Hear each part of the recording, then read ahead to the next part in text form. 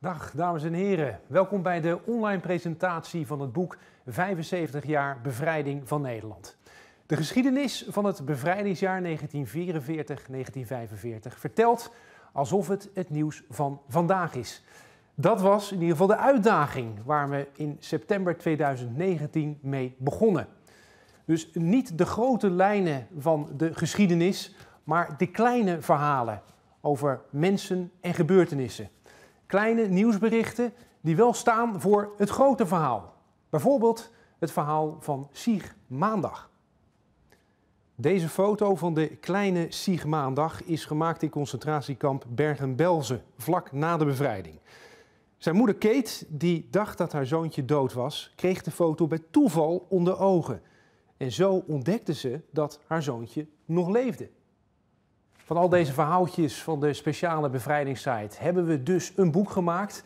En dat presenteren we in het decor van de bevrijdingsjournaals, die ook gingen over het vertellen van de verhalen van toen als het nieuws van vandaag.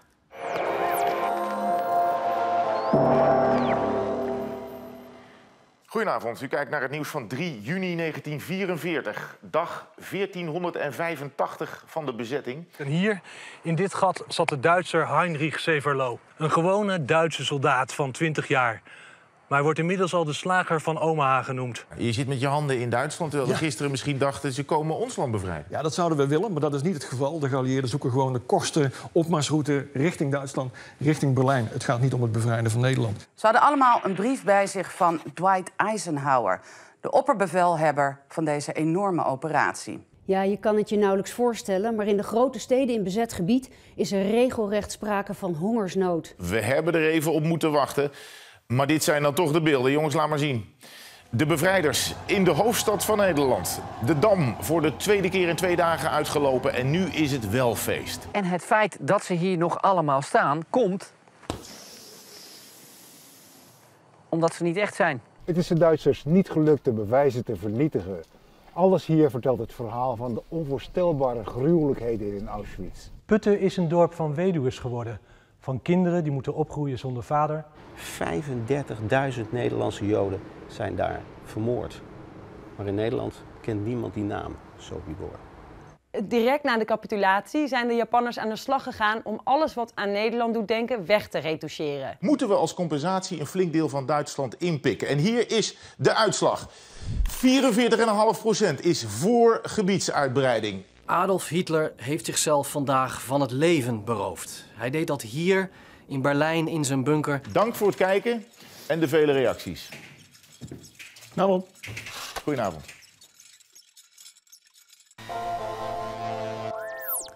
Voor het boek hebben we uit alle verhalen een selectie gemaakt van 365 berichten.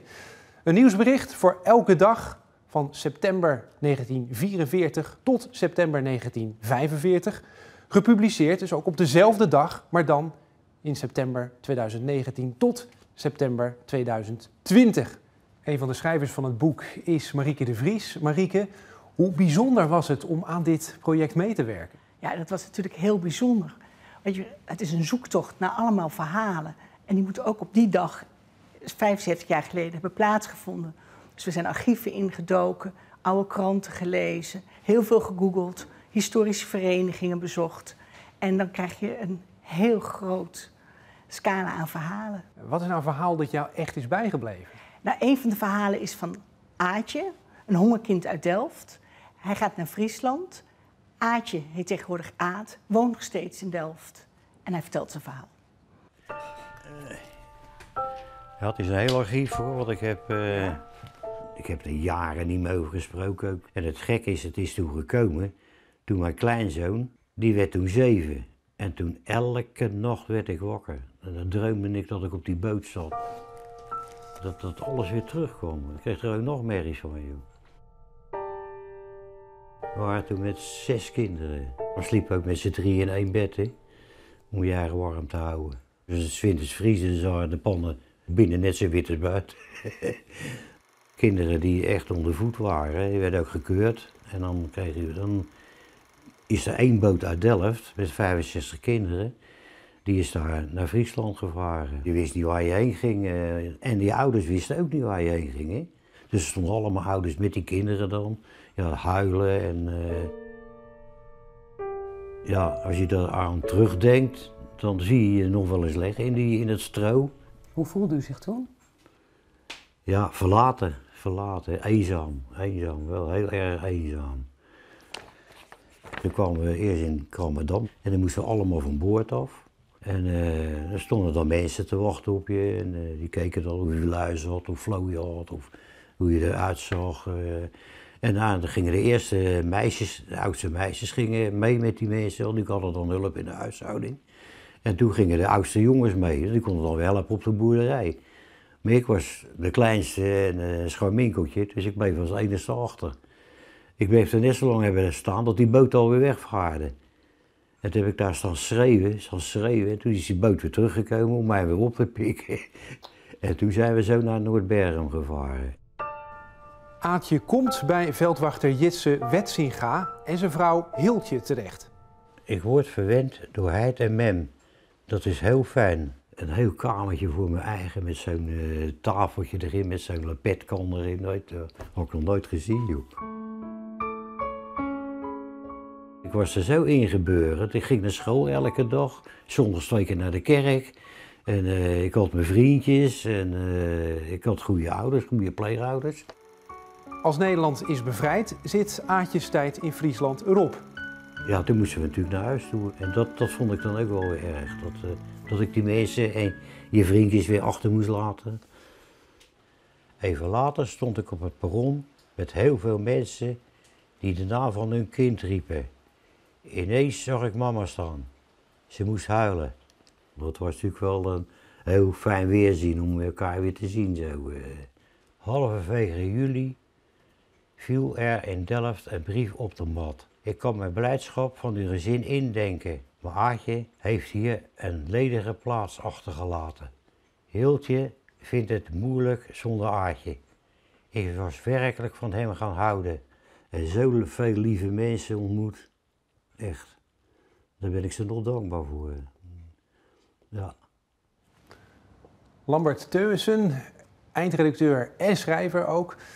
Dit is echt een heel andere vorm en ook een specialere manier van geschiedschrijving. hè? Ja, klopt. Want omdat je 365 aparte verhalen hebt, heb je de neiging om... hé, Je kan alle verhalen één voor één bekijken als fragmenten, maar je ziet langzaam maar zeker ook een soort rode lijn ontstaan door al die verhalen. Je ziet dat het laatste jaar echt steeds en steeds erger wordt. Het begint bijvoorbeeld in september dat je een verbod krijgt op koekjes en ijs. Maar dan weet je al dat is een voorbode van de hongerwinter. En je weet dat er in januari en februari natuurlijk heel ernstig gaat worden en heel veel hongersnood gaat zijn in Nederland. Is er voor jou een verhaal dat er uitspringt? Nou, een van de dingen die we bijvoorbeeld gedaan hebben, is gekeken ook hoe de, de toestand in Nederlands-Indië was. Eh, daar hebben we gesproken met eh, Thea Mulders. Dat is een meisje, dat als, als meisje ging die het eh, Jappenkamp in. En die vertelt daar nou ja, hoe haar moeder bijna een troostmeisje moest worden. Die vertelt haar hoe haar vader overleden is. hoe het eigenlijk steeds erger werd in dat kamp. Ik ben Thea. Ik ben niet die mevrouw met het, grijze, met het grijze haar en het oude lijf, maar ik vertel het verhaal van het meisje van toen. Ik was 2,5 toen we geïnterneerd werden en ruim zes toen ik eruit kwam. Hoe was het leven in het kamp? Constant opletten. Eh, constant alert zijn op geluiden die je niet vertrouwde. Die ehm, soldatenlaarzen met die metalen punten eh, op die marmeren vloeren. Eh, als ze dood was je daarvoor. Mijn babyzusje moest ik verzorgen, eh, verschoonde haar, moest die luiers ook wassen en dergelijke. Ja, ik had dus eigenlijk de taken van een, van een jonge huisvrouw. Daar komt het op neer met een kind. Mijn zusje was dus eigenlijk mijn eerste kind. Ik was toen drie, vier jaar oud. Kijk, een van de grote voordelen, voor, als ik het zo mag noemen, is dat ik zo jong was. Ik geen enkel vergelijkingsmateriaal had. Eh, dus wat er op me afkwam, dat kwam op me af. Ik accepteerde het en ik deed, maakte er het beste van. Dit, deze foto van mijn moeder vind ik zo prachtig. Zo sereen, zo zuiver. Mijn moeder werd uitgenodigd met een aantal jonge meisjes eh, bij, op het kantoor van de commandant. En kregen toen te horen dat zij uitverkoren waren om voor de Japanse officieren gastvrouw te worden. Moeder deed een stap naar voren, boog diep en zei ik wil er een nachtje over slapen. Moeder kon terug naar ons tweeën toe, mijn zusje mij. En die andere meisjes zijn afgevoerd en daar is geen enkel levend van teruggekomen. Dames, de dag waar wij nu reeds drie en een half jaar naar hebben uitgekeken, is thans aangebroken. Officieel mag ik u meedelen dat de oorlog voorbij is. Wij zijn vrij. Tussen al die mensen zocht ik mijn moeder, want ik begreep er helemaal niet wat daar gebeurde. Ik vond haar uiteindelijk helemaal aan de andere kant van het kamp, met haar hoofd op de knieën, armen eromheen. En ze had net een betrouwbaar gerucht gehoord dat mijn vader was omgebracht. Hij was 26 jaar oud. Herinner je je vader nog goed? Uh, nee, uh, alleen dat hij bruine ogen had en dat ik mij intens veilig bij hem voelde. Maar toen mijn zoon zijn dochter in zijn armen had, toen zag ik mijn vader. 5 mei zegt mijzelf niet zoveel. Uh, voor mij is 15 augustus veel belangrijker. Het einde van, of de capitulatie van Japan en het einde van de Tweede Wereldoorlog. Als je geschiedenis niet kent, ken je, heb je geen toekomst. je, je wordt ook gemaakt door wat er in, de, in het verleden gebeurd is. En met die bouwstenen moet je doorgaan. Dus als je bouwstenen niet kent, dan maak je geen goed huis.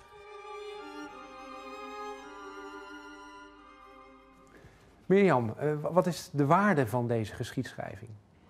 Nou, dit boek brengt je eigenlijk weer bij de beleving van het laatste oorlogsjaar. Want nu de generatie die het zelf heeft meegemaakt en erover kan vertellen steeds kleiner wordt, is dit een nieuwe manier om verhalen te vertellen en ze weer levendig te maken. Zodat ze ook dicht bij de mensen komen. We vertellen die verhalen van, dag tot dag. Ehm, je stapt als lezer eigenlijk terug in de tijd om die verhalen te volgen. En je krijgt mee uh, hoe mensen wanhopig waren, angstig, maar ook moed en hoop hadden dat het beter zou worden. En al die verhalen bij elkaar, soms confronterend, maar soms ook heel ontroerend, die brengen je dichter bij het gevoel hoe het was om in die oorlog te leven. En zo hebben we geprobeerd het grote bevrijdingsnieuws in kleine verhaaltjes te vertellen. Verhaaltjes die hun nieuwswaarde nooit zullen verliezen. Het boek ligt nu in de winkel. Ik wens u nog een fijne dag.